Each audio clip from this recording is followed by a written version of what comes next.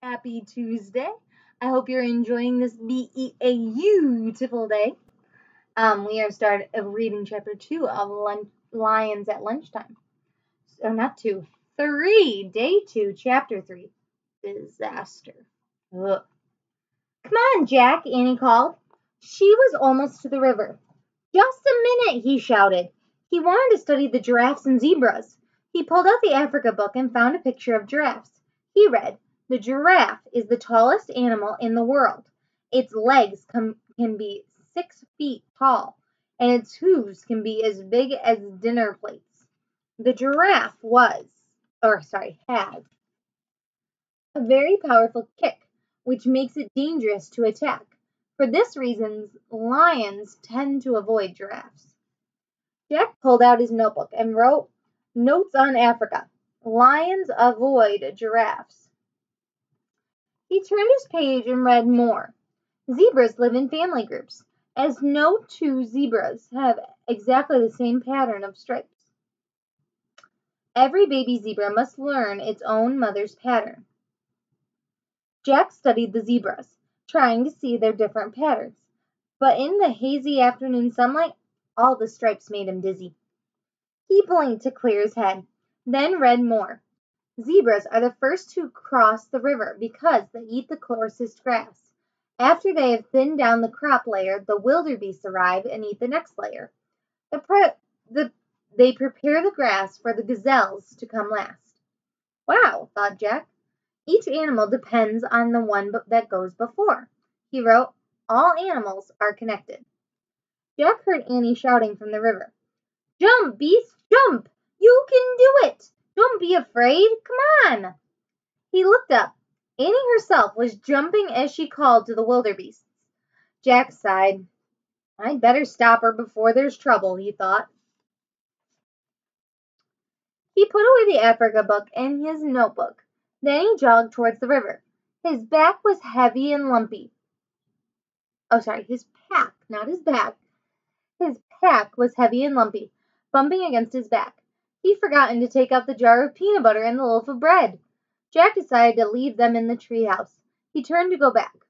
But just then, Annie's shouting stopped. Jack looked at the river.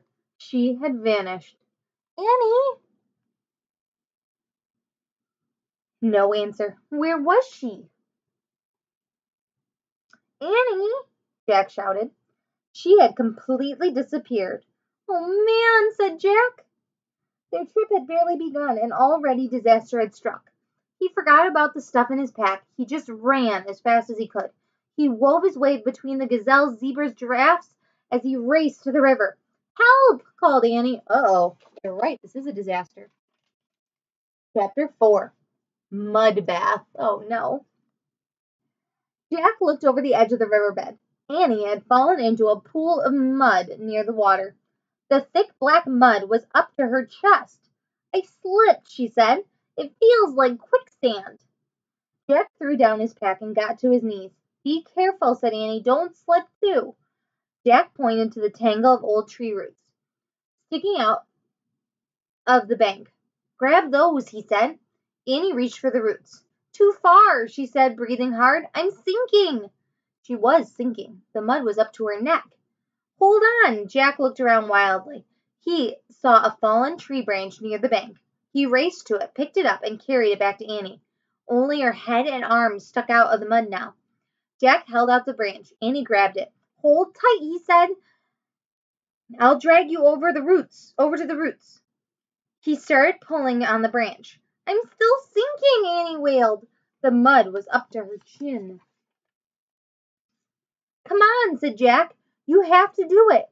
I know you can. Try, try. Just then, Jack heard a splash. He looked up. On the other side of the wide river, the wildebeest had jumped into the water and another jumped, then another. They were heading right towards Jack and Annie. Hold on tight, said Jack. He pulled on the stick again. Annie moved a tiny bit. Hey, Jack, on the moon, on the moon, it felt like I weighed ten pounds, said Annie and in this thick mud, it feels like I weigh a ton. Concentrate, Annie, said Jack, trying not to slip down the bank. I am. The lead wildebeest was halfway across, swimming towards them. Many more wildebeests were jumping into the water.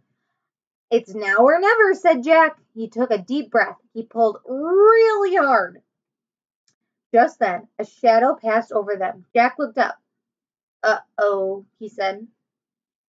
A huge vulture circled overhead. It thinks you're near to the end, said Jack. Oh, get out of here. Annie shouted at the vulture. I'm fine. In a burst of fury, she let go of the branch. She lunged for the roots. She grabbed them. Yes, cried Jack. Pull, pull. Slowly, Annie pulled herself out. She was covered with the black mud from head to toe. Jack helped her onto the bank, getting mud all over himself, too. See? Annie shook her fist at the vulture. I'm fine. Now beat it. But the giant ugly bird still circled. Come on, let's get away from him, said Jack. He pushed his glasses into place. Rats, he said. Now his glasses were muddy. He tried to clean his hands in the grass. Oh no, shouted Annie. Jack turned to her. The wildebeest will get stuck in the mud hole, she cried. She waved her arms the wildebeest at the wildebeest, struggling to swim across the river. Not here, she shouted, not here. But the frantic swimmers kept coming.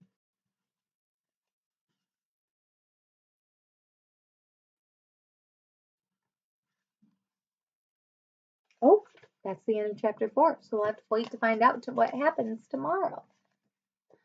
I hope you are having a wonderful Tuesday. I am going to go take my dogs for a walk to get out and enjoy the sunset shine. Um, I will see you tomorrow so we can continue reading chapters five and six. And I hope you have a good day. Bye bye.